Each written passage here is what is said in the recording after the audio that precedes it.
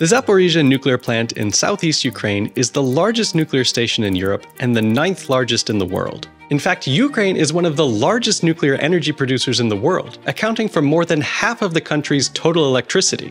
Unfortunately, this makes the Zaporizhzhia station a valuable strategic target, and since its invasion in March of 2022, it has been under the control of Russia.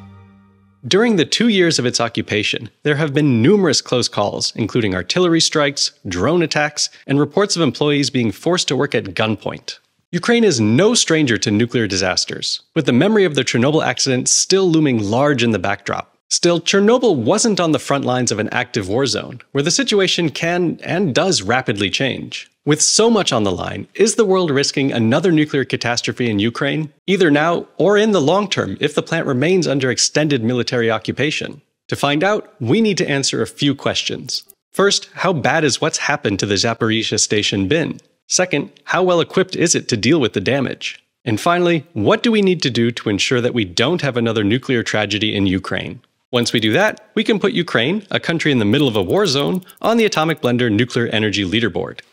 One of the things that I often see is when a country wants to get a message out to a broad audience, is that that message needs to be clear and understandable. Programs like ChatGPT have made it easier for governments and non native speakers to sound more natural. Understanding how these large language models work is becoming more and more useful as AI spreads into new applications. And that's where this video sponsor Brilliant has you covered. Brilliant is where you learn by doing, with thousands of interactive lessons in math, data analysis, and AI. And their latest course on large language models, like the one that powers ChatGPT, does exactly that. Understanding how these generative AI applications work has really helped me in my everyday tasks, because once I understood what's going on behind the scenes, now I can really put what's best into these tools without just getting out nonsense. Brilliant's emphasis on interactive learning, which is six times more effective than passive learning methods like watching lecture videos, can truly be transformative. With Brilliant, you learn by doing. This unique approach makes it feel like more of a game. To try everything Brilliant has to offer for free for a full 30 days, visit brilliant.org slash atomicblender or click the link in the description. You'll also get 20% off an annual premium subscription, so be sure to check it out.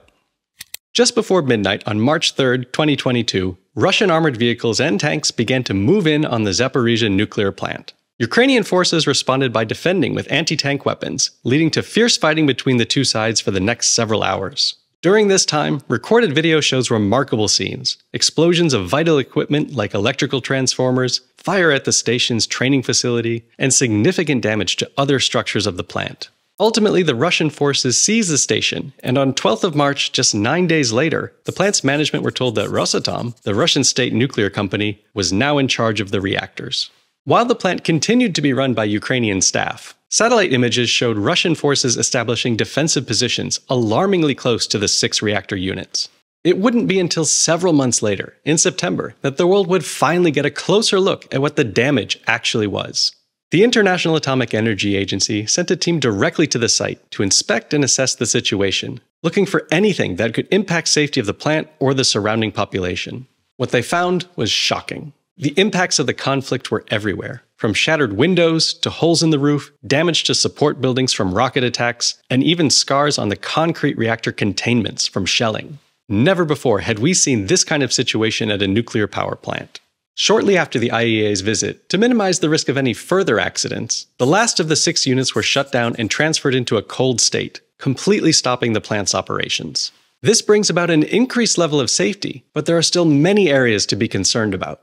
The Zaporizhzhia station still maintains fresh and spent fuel storage facilities, and significant damage was seen in the areas around these structures, including holes in the roof from shelling. If explosives reach the nuclear material, highly radioactive particles could be spread across the site and launched up into the atmosphere. It is worth pointing out that, although this would be a horrible situation, there is some good news. Because the plants are in a cold shutdown, it is essentially impossible to have any kind of nuclear explosion like what occurred at Chernobyl. Only a deliberate restart and complete loss of the safety systems could result in that level of disaster. And although Russia says it would consider restarting some of the reactors to supply heat during the cold winter months, so far all of the reactors remain in a shutdown state. The IAEA says the situation at Zaporizhzhia remains dangerous, with all of its pillars of safety having been compromised. Their most recent report from February highlights major ongoing risks to nuclear safety. The physical integrity of the site is not good. Ongoing nearby shelling and the placement of landmines present a constant threat to nuclear safety and security. Damage to the site's reactor buildings, facilities housing nuclear fuel and radioactive waste, electrical switchyards, and emergency cooling equipment was all observed. Damage to backup generators, including vital connections and diesel fuel supplies, means that if an accident does occur, the plant will have limited options to respond. Of course, even working safety equipment is meaningless if there's no staff available to properly use it. Ukrainian staff continue to perform their duties at Zaporizhzhia, but what is under essentially constant control from Russian soldiers. I don't know about you, but I don't work particularly well at gunpoint. This has led to limited staff availability, while many have been detained. Ukrainian personnel have also faced repeated demands from Rosatom to sign new employment contracts in order to keep their jobs, while their previous Ukrainian employer tells them not to. Constant changes to the organization structure have left employees unsure of the chain of command and who has responsibility for control of the plant on several occasions. The IAEA reports that staff are exhausted from having to work endless shifts, again, all while next to a conflict zone. Tired personnel and miscommunications increase the chances of mistakes that could lead to even small problems becoming much, much worse.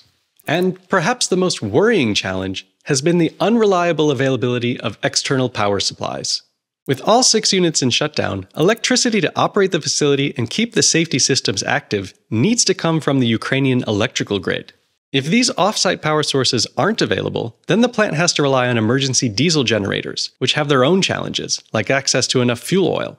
The Zaporizhzhia site normally has access to 10 offsite power lines. As of February 2024, it was down to just one.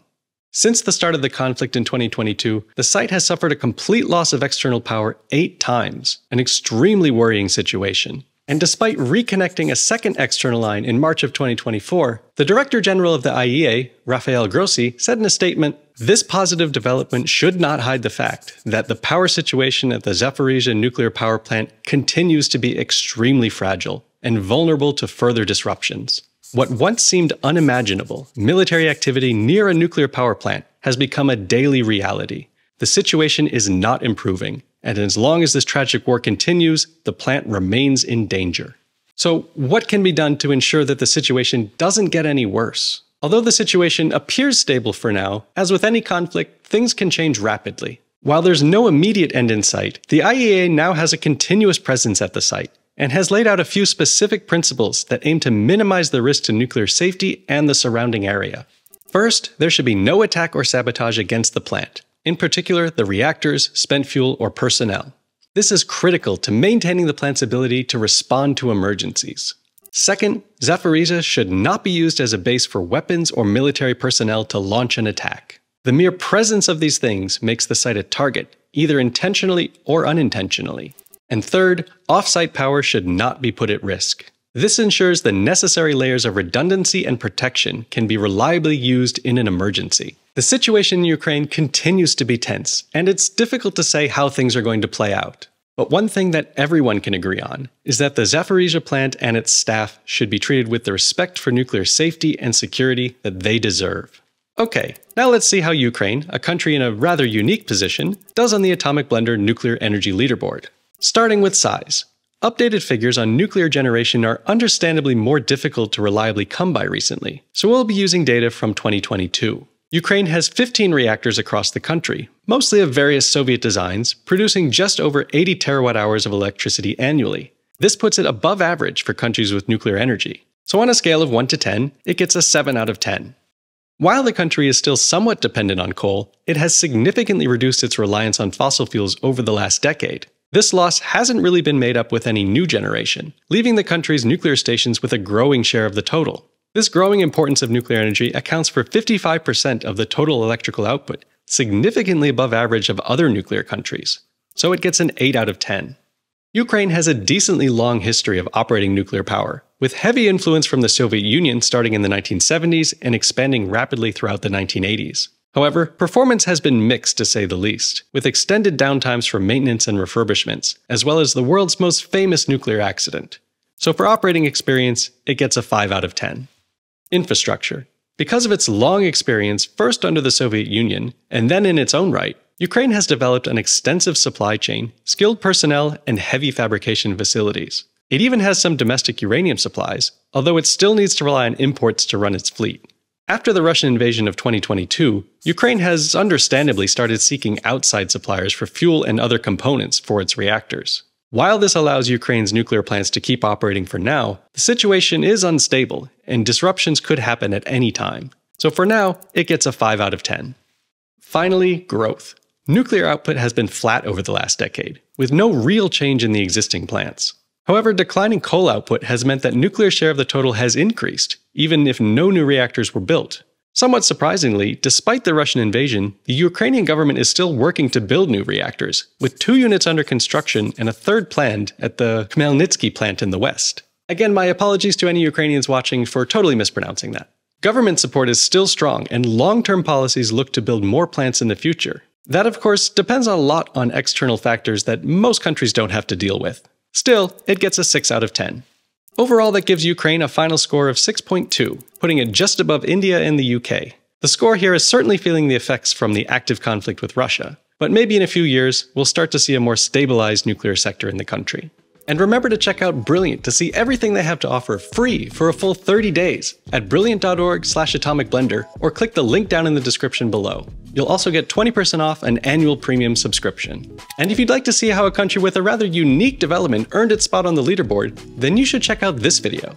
Thanks for watching, and I'll see you in the next one.